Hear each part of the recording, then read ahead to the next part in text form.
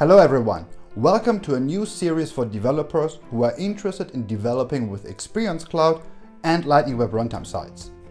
In this third episode, we will look at an essential part of any web experience.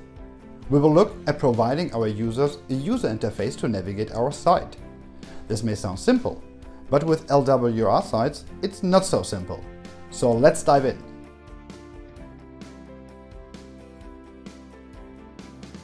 In our first episode, I mentioned that we will talk in our series about what you can and what you can't do with LWR sites.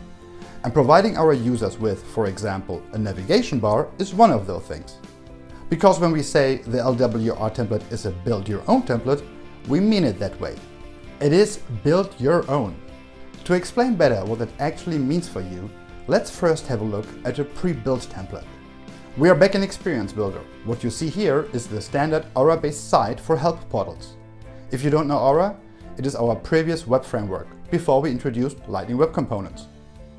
As it is obviously visible, this template already comes with a lot of pre-built functionality. What I want to highlight here is the navigation bar. It comes out of the box for this template, and when we click on it, we can easily configure it. Currently the default navigation is selected which consists out of the menu items Home and Topics. Let's add another entry. We add a new menu item, give it a name, let's say Developer. Then we select the type, for example external URL, and then we enter the URL. A great choice would be developer.salesforce.com. Now, before we hit save, I want you to focus on the different data elements of this menu item. The name, the type, and then optional parameters like the URL if the type is an external website. We will need this knowledge later when we build our own navigation. For now, let's save the menu item and within a second our menu item shows up within the pre-built navigation bar. Okay, that was easy. Basically, with a couple of clicks we could build our navigation. If we have a pre-built navigation. Now let's dive into what we will have to do for replicating this for an LWR site.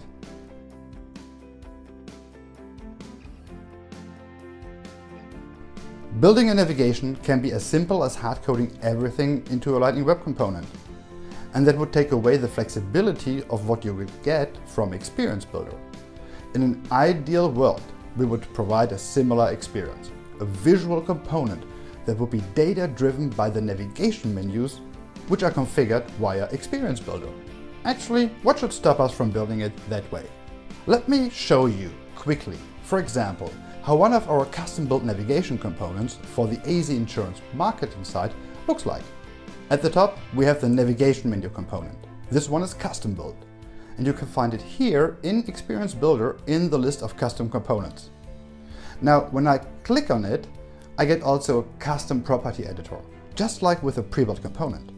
I can select the menu that should be displayed, I can customize in real time the button label, and more. To build all of this, let's first dissect what we actually need. For sure, we need a Lightning Web component that displays the navigation and that allows the visual property configuration in Experience Builder. Then we will need an Apex class that retrieves from our environment the list of available navigation menus. Otherwise, well, there is not much to pick for our visual configuration, right?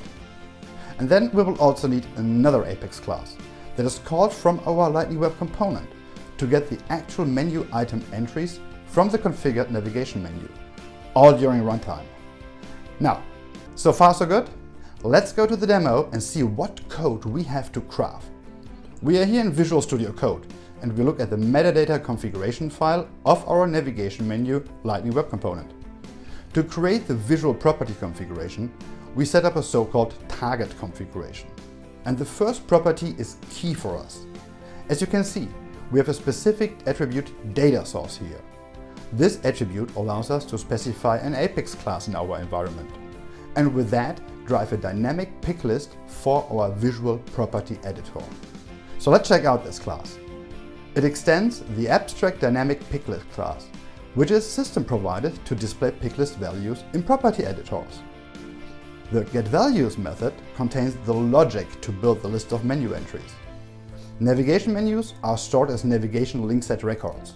So we're fetching here the master label for the visual display, that's what I will select, and the unique developer name as selection value for each picklist row. And if you want to only show menus that are configured in the current experience site, you can extend the SOQL query to query for the network ID of the site. Now let's bring up a side-by-side -side between our Lightning Web component and another Apex class. The component invokes the Apex method getNavigationMenuItems with the name of the stored menu item. In that Apex method, two things happen. First, it fetches the navigation link set based on the passed developer name and it does it via SOQL. And then it runs another SOQL query to fetch a sorted list of the individual navigation entries with their relevant fields, like label, access restriction and more. In our web component, we map the returned data into an array of custom objects and filter the array items based on the access restriction field value so that we don't expose menu entries that are meant to be for authenticated users to unauthenticated users. The filtered data is then stored in our menu items class field. Pretty cool, huh? Now, there's one more thing. An experience site can be in two different states. In draft mode, when you edit things in Experience Builder, or in publish mode, what your users actually see. Our component has to respect these different states. And here is how we solved it for our navigation menu component. You likely wondered already about this publish state value that we're passing to the Apex method. Where does it come from? So let's scroll down to see how. We built a custom method that leverages the current page reference object. This is a utility object that gives you information about the current page. And we utilize it by checking if the page state tells us if the component currently runs live or in Experience Builder. Whoa, that was a lot. So let me summarize. We build an Apex class to fetch the list of navigation menus. Then we take that information and call the getNavigationMenuItems Apex method from our Lightning Web component. That one fetches the actual menu item records for us. And then we store the returned data in our menu items property. And then we do, well, what are we doing with them? Now let's go back to code one more time. In the markup of our navigation menu web component, we are iterating over all array items that are stored in our menu items field. And for each of them, we render another web component, navigation menu item. And there is where some of the magic, or hard work actually, can be found. You remember when I said earlier? Now, before we hit save, I want you to focus on the different data elements of this menu item.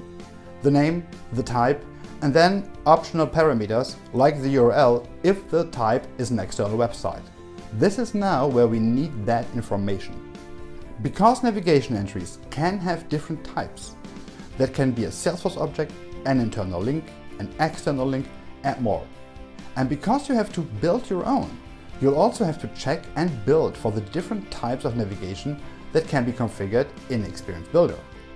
In our sample app, we construct for each type a different object, which represents the page reference that we want to call once someone clicks a navigation entry. If you don't know much about page references yet, no worries, we'll cover them in detail for Experience Cloud in an upcoming episode.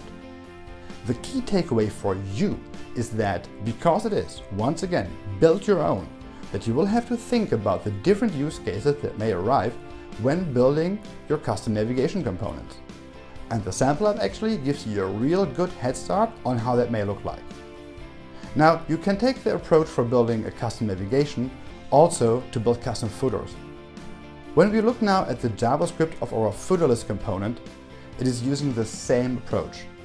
This adds additional flexibility to your sites, as you can prescribe the behavior and those who manage the content can use Experience Builder to visually compose the footer. Now, I hope you enjoyed this walkthrough about how to embrace build your own and what to consider when crafting your own navigation and footer components. Check out the description to learn more about those.